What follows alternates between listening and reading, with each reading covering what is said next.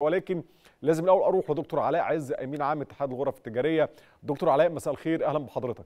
مساء الخير عمرو باشا ومساء الخير للساده المشاهدين أهلا وسهلا أهلا وسهلا دكتور علاء. النهارده دكتور مصطفى مدبولي استشهد وذكر ما حضرتك ذكرته ليه فيما يتعلق بين المصانع دلوقتي تستطيع إنها تعمل بكامل طاقتها. عندها مخزون في المخازن يكفيها شهرين قدام.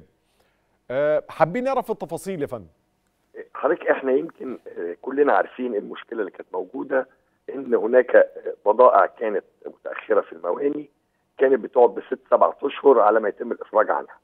ابتدى يمكن من أول ديسمبر الحل العملي في ذلك والإفراج توالى من أول ديسمبر النهارده أعلن دولة رئيس الوزراء إن تم الانتهاء من كل المتأخرات اللي موجودة. فدلوقتي زي ما حضرتك أشرت البضاعة اللي بتوصل بتاخد دورتها وتقف. النهارده اللي موجود عندي في البضائع هو أقل من 4.8 من 10 مليار تقريبا. وهو المتوسط اللي كان موجود في يناير 22 أو تمام. ديسمبر أو نوفمبر السابق ده المتوسط الطبيعي بتاعي اللي هي على ما بتاخد الدورة دي بتتضمن حوالي 3 مليار سلع وصلت ولكن ما ابتدتش لسه في إجراءاتها تمام. إحنا يمكن كنا بنحصر المتأخرات بالنسبة للمصانع في تواصل مستمر مع المصانع كلها عشان نضمن إن عندها اللي يشغلها على الأقل وردية. ودلوقتي اللي بيجي لي من المصانع أنا عندي شحنات وصلت المينا بس مسدسها لسه ما جاتش البنك. يعني بنتكلم على بدل ست أشهر متأخر بقى دلوقتي بنتكلم على المستندات لسه ما وصلتش. معناه إنه ما عندوش حاجة متأخرة. تمام كويس قوي. يعني كده فندم نقدر نقول إن إحنا قلبنا الصفحة الخاصة بوجود بضاعة أو مستلزمات إنتاج في المواني. وليها أثر مهم. بس أنا عايز أذكر حاجة مهمة. حضرتك تلاحظ كان دولة رئيس الوزراء بيصرح كل أسبوع بإفراجات في حدود واحد ونص مليار دولار كل أسبوع. تقريبا آه. متوسط وارداتي الشهرية من ستة من خمسة لسبعة مليار على حسب الشهر. فمعنى هذا إن أنا بأفرج عن كل ما يصل إلي. تمام. تمام. النقطة بقى أثر الكلام ده إيه؟ أنا كمواطن الكلام الكبير ده كله يفرق معايا في إيه؟ مظبوط. النهارده السلع اللي كانت بتيجي كانت محملة بغرامات تأخير وإيجار containers وبالتالي سعرها بيعلى. كان البنك ما بيدبرش. فحتى لو أفرج عنها بضمان المورد كان بيضطر عشان أنزلها السوق بحط هامش مخاطرة عالي تمام. سعر الدولار اللي ممكن يتدبر لي كمان شهر أو اثنين أو ثلاثة النهارده بيتدبر في نفس اليوم وبالتالي أنا عارف السعر بسعر صح ما بحطش هامش المخاطرة. في نفس الوقت المصانع كانت بتشتغل بطاقة محدودة وبالتالي بحمل على السلعه الواحدة نسبة عالية من المصاريف الثابتة. أكيد. دلوقتي شغال بطاقة كاملة وبالتالي المصاريف بنسبة كام في المية يا فندم؟ بنسبة كام في المية المصانع يعني خصوصا في السلع الغذائية أساسا يعني شغالة ب... ب... ب... بكامل طاقتها؟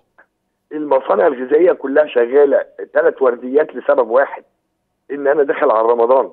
تمام. وبالتالي أنا محتاج إن أنا أكتر في الإنتاج اللي موجود. مش بس هو مش هيشغل ثلاث ورديات لو ما عندوش بضاعة في المخازن أو مستلزمات إنتاج في المخازن. حضرتك أنا مشكلتي دلوقتي إن هناك سلع أفرج عنها.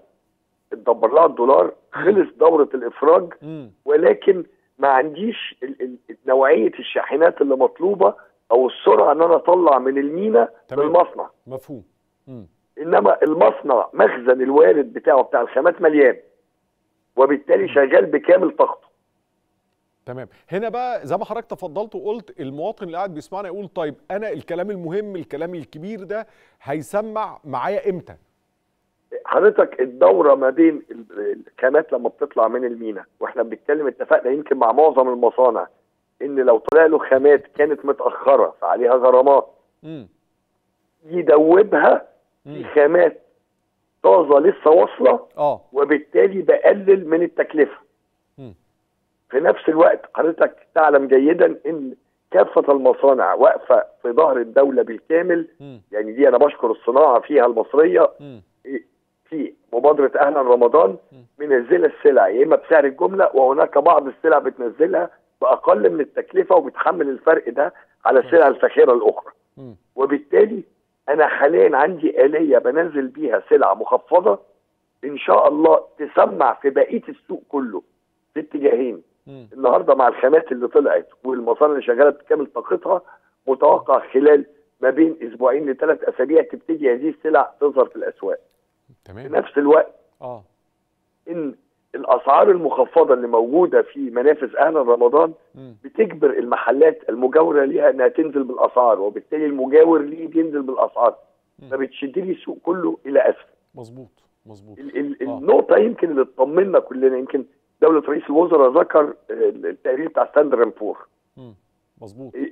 اللي أهم حاجة فيه إن هو بيتكلم عن إحنا السنة المالية بتاعتنا نص آه، 22 مع نص 23 بيتكلم على الكام شهر الجايين أنا عندي تضخم 30 17% السنة المالية التالية هينزل 12% عجز الميزان التجاري هينزل من 10 و8 من 10 ل 9 مم. الدين العام هينزل من 86 ل 82 دي مؤشرات من أهم طبعا. ما يمكن طبعا إحنا طبعا. حققنا أعلى صادرات في تاريخ مصر 35 مليار دولار مم. السنة اللي فاتت مم. الصادرات البترولية طلعت ل 18 مليار بزيادة حوالي 40% مم. عندي وصلنا تقريبا لمليار دولار استثمارات خلال الكام يوم اللي فاتوا اللي في. شهر يناير آه فابتدت الرؤية تبان إن إحنا متوجهين ناحية.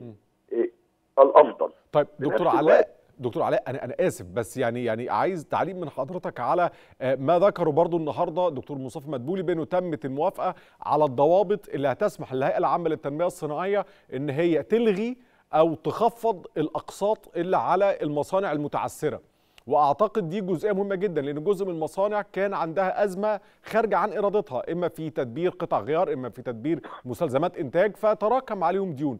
النهارده بالفعل د- دكتور مصطفى مدبولي بيقول إن الهيئة العامة للتنمية الصناعية بإمكانها إما إلغاء أو خفض غرامات التأخير يا فندم.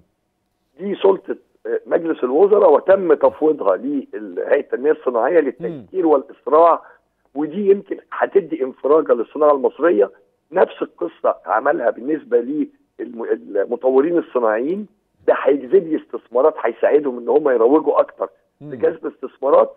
إحنا بنبص رؤية مستقبلية كمان. مم. يعني زيادة سعر توريد ارداب القمح ل 1250 بدل 1000 دي هتشجع المزارعين إن هم يزرعوا قمح نسيانك للموسم القادم. مظبوط. وبالتالي هيقل اعتمادي على الأسواق المتذبذبة سواء روسيا أو أوكرانيا. فإحنا مش بس بنحل مشاكل الفترة اللي فاتت ولكن بنبص مستقبليا إن نمنع إن تحصل مشاكل في المرحلة القادمة. أكيد إن شاء الله. أنا شاكر جدا وجود حضرتك معانا دكتور علاء عز الأمين العام للغرف التجارية. شكرا لحضرتك.